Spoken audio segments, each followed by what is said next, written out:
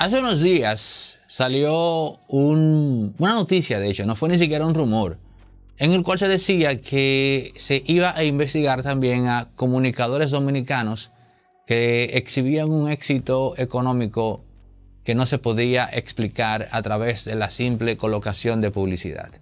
Y de inmediato mucha gente comenzó a hablar de distintos comunicadores y analistas que usted ya se podrá imaginar a quienes nos estamos refiriendo. Sin embargo, de inmediato nos decíamos otra vez, un tema que no va para ninguna parte. Señores, agarrar a comunicadores, incluso si estos, oigan lo que voy a decir, que esto es grave, incluso si estos han quebrantado la ley, incluso desafiando al gobierno, no los van a tocar. Meter a un comunicador preso, y darle el mismo tratamiento que en su momento se le dio a Adam Cáceres, a Jan Alain y demás, eso usted nunca lo va a ver. Ningún presidente en un contexto democrático va a hacer eso. Y no ni siquiera por el tema democrático en sí, sino por algo muy básico. Usted dirá bocina. Ya nadie cree en las bocinas. ¿Qué más da que el presidente tranque a una o dos que se han hecho ricas eh, con eh, contratas y demás, que es lo que dice o lo, que reza el mito urbano, ¿cierto o no? Aunque usted dirá, bueno, no puede ser cierto si tiene, o no puede ser, eh, digamos, irreal, o no puede ser cierto. No, no, no, no. Independientemente de eso, señores, eso es juego de poder. Y así como hay comunicadores que le pichan el juego a la oposición, hay comunicadores que le pichan el juego al gobierno. Y la razón por la cual un comunicador que le hace el juego al gobierno no va a aplaudir que se tranquen dos o tres bocinas es porque él sabe perfectamente que mañana él será oposición y que con apoyar eso está sentando el precedente para que en un futuro cuando él no esté en el gobierno le pase lo mismo. Señores, abran los ojos y dejen de estar aplaudiendo como focas, que eso nunca va a ocurrir. Un caso similar es el de Santiago Matías. Ningún presidente va a agarrar y le va a cerrar esa plataforma o se va, o se va a ganar de enemigo a Santiago Matías. Un presidente cuando vea que tiene una plataforma de más de 4 millones de seguidores y que los cortes que hace ese muchacho generan todos por encima de las 500 mil vistas, inteligentemente lo que va a hacer es que va a tratar de ganárselo de ponerlo a gravitar en torno a sus intereses. A ese presidente poco o nada le importa que un empresario amigo de él que tiene medios vea a Santiago Matías con recelo. El poder no funciona así, señores. No funcionan así las cosas en el juego de poder. Así que deje usted de prestarse de carne de cañón. Deje usted de prestarse de preservativos. Sabrá Dios de dónde salió eso. Que el gobierno está investigando a comunicadores que tenían. Señores, miren, hay algo a lo que todos los gobiernos le temen. Independientemente de que el comunicador X tenga crédito o no. Independientemente de que ese comunicador tenga arrastre o no. Independientemente de que ese comunicador sea muy conocido, conocido, poco conocido o irrelevante, el gobierno siempre tiene miedo de que ese comunicador destape un tema que comprometa al gobierno una especie de caja de Pandora mediática. Por eso es que los presidentes y Luis Abinader no será la excepción, no van a tocar esa tecla. Las bocinas pueden estar tranquilas. Las bocinas que tienen hoy día fortunas de más de 500 millones de pesos, saben que eso no se va a tocar. Yo pudiera inferir que este asunto vino como parte de una campaña para tratar de amedrentar a algunas bocinas que sí tienen cosas que pudieran ser cuestionables para que no le entren a quienes al Ministerio Público. Con el tema que se está dando de que Jan Alain para su casa, ¿eh? eso viene ahí, Adán Cáceres para su casa, los demás para su casa, Alexis Medina para su casa. Entonces, en aras de que no se le dé mucha difusión a eso, me pasa por la cabeza y pudiera yo inferir que es parte de un juego. para decirle, mira tú, fulano, recuerda aquello. No hables mucho porque mira lo que tenemos aquí. Yo diría que eso va por ahí. Aunque también me han dicho, y con esta culmino este comentario, me han dicho que parte del enojo de Marino Zapete con Luis Abinader vino precisamente porque Luis barajó esa tecla. Hay dos comunicadores poderosos en este país que Marino Zapete los quería ver pasando vergüenza.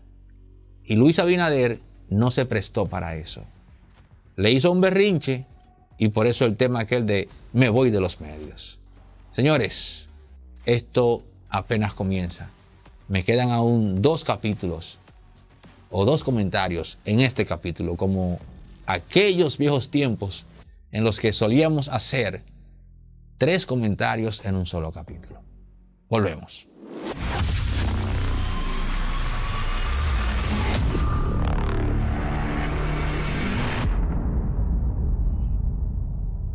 No me gustó ese decreto del 2 de enero no laborable. Primero porque este mes ya tiene dos no laborables que son el, eh, que son el tema del natalicio de Juan Pablo Duarte y también está el tema de la Virgen de la Altagracia, de la Mercedes, no sé. Corríjanme ustedes cuál de las vírgenes es, que no soy muy ducho en eso. Pero hay una Virgen de por medio que también es un día no laborable. Con este serían tres. Pero si eso le suman que el primero de enero es no laborable, son cuatro. Yo no creo que un país que esté en ánimos de trabajar y echar para adelante se deba dar el lujo de hacer eso. Lo segundo es que yo estaba optimista en torno a los números del presidente. Pero al ver que este señor se despacha con esto, me queda claro que sus números no le satisfacen y que quiso irse por el, irse por el populismo barato para ganar puntos rápidos. Lo tercero es que lo vi muy improvisado. Yo puedo ser improvisado en mi empresa, pero a un presidente yo no le puedo permitir eso, porque no solo mis intereses, sino los del prójimo están en juego. Parece ser que Luis Abinader estaba buscando desesperadamente una medida con la cual caerle en gracia a la población y se le ocurrió eso.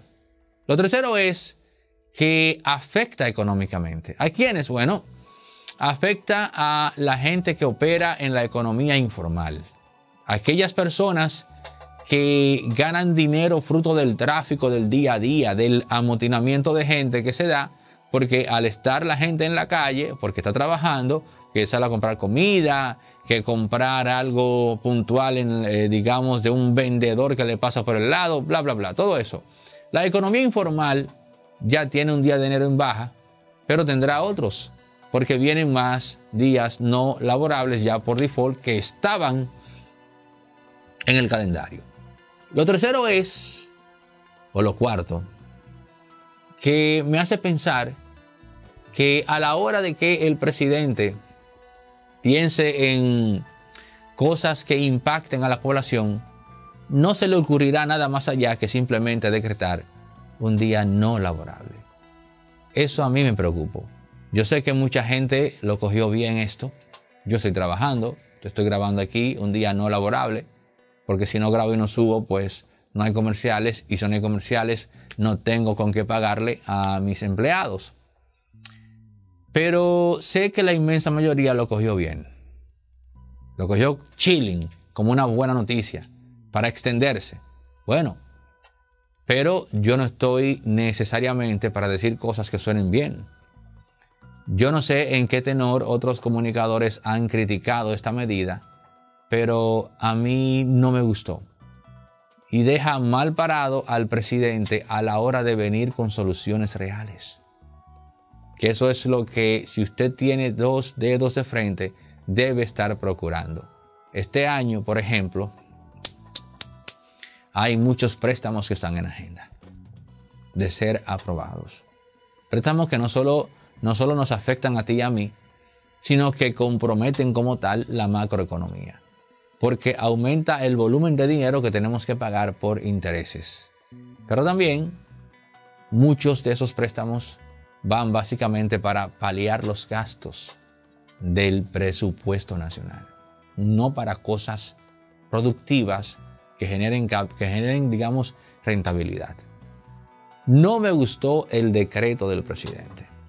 Amén de que ya eh, dije en otro capítulo que tiene que ver con un tema estrictamente reeleccionista. Luis Abinader anda buscando hacerse el simpático. No me gustó por todas las razones ya antes dichas.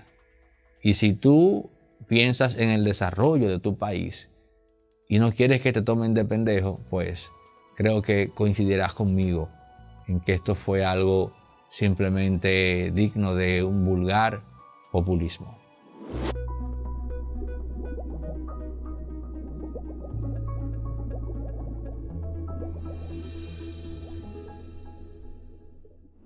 El PLD inicia el año 2023 dividido. Y es evidente que no me refiero a Leonel Fernández y a Danilo Medina. Me refiero a Abel Martínez, Francisco Domínguez Brito y Margarita Cedeño. Ustedes saben que Margarita fue la primera en hacer tienda aparte. Tuvo que ir el mismo Abel Martínez a su casa a abrazarla. Pero Margarita no se conformó con eso o no sanó con eso más bien. Margarita ha seguido su actitud beligerante. Pero Francisco Domínguez Brito, que estaba entre que voy o no voy, entre que sumo o no me sumo, y que por lo visto se fue, se fue por el caño, como dicen por ahí, el, el pacto aquel con Abel Martínez. Si yo llego primero, tú eres el candidato vicepresidencial. Eso no se concretizó. Pero hay un audio del cual ya hemos hablado en otro capítulo que se ha filtrado en el cual Abel Martínez tilda de MMG a Francisco Domínguez Brito y a Margarita Cedeño.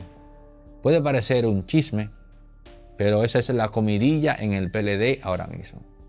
Todo dirigente de medio hacia arriba está hablando de ese tema. Yo había dicho que ese es un error que Abel Martínez no puede cometer, porque Danilo Medina iba a capitalizar eso. Él no podía darle terreno a Danilo para capitalizar el descontento de figuras claves como Francisco Domínguez Brito y de Margarita Cedeño. Y como van las cosas, todo apunta a que en efecto será en esa dirección. Francisco Domínguez Brito no se quiere unir, no se quiere sumar, al proyecto presidencial de Abel Martínez. Incluso antes de que Domínguez Brito culminara su proceso, el día de la famosa consulta, ya, y lo puedo decir porque tenía conocimiento de esto, había elementos de su equipo que estaban sospechando para dónde irse. O con Margarita o con Abel Martínez. Que por eso era que se decía que Francisco Domínguez Brito y, y Margarita se iban a unir contra Abel. Porque había gente del equipo de Domínguez Brito que estaba emigrando hacia donde Margarita Cedeño. Aunque luego vino el desplome y pasó a la inversa.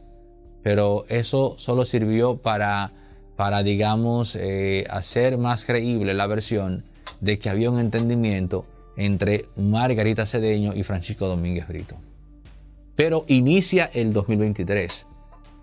Y, repito, hay división entre Abel Martínez, Francisco Domínguez Brito y Margarita Cedeño. ¿Qué va a hacer Danilo Medina con este panorama? Bueno, él es el presidente del partido. Él pudiese entrar como mediador, que le queda, le luce, pero si yo fuese Abel Martínez, estaría muy receloso de ese rol de mediador de, de mediador entre él y la dupla Margarita y Francisco Domínguez Brito, porque uno no sabe qué giro en su beneficio le daría Danilo Medina a eso. Bien pudiera ser que el compromiso que adquiera Abel Martínez de cara a, a Danilo Medina se dé precisamente como pago por ser Danilo el ente que baje las aguas de Margarita y baje las aguas de Francisco Domínguez Brito. Por eso es que en otro capítulo dije que Abel Martínez no puede darse el lujo de cometer errores, porque cada uno de ellos le dará poder a Danilo Medina. Un poder que se supone, se supone que Danilo está perdiendo en la medida que se acercan las elecciones, porque el único que tiene en sus manos la esperanza de volver al poder es Abel Martínez, no Danilo Medina. Pero si él comete errores constantemente, Danilo podrá anivelar el terreno perdido y por lo tanto volver a ganarlo. Y esto que acaba de ocurrir, en donde en un audio se dice, ¿y qué es lo que quieren esos dos MMG? Ellos perdieron, lo que tienen que hacer es integrarse. Ese audio le ha salido caro a Abel Martínez. El PLD inicia. Oigan bien, el PLD inicia el año 2023 dividido. Abel Martínez por un lado y Francisco Domínguez Brito y Margarita por el otro.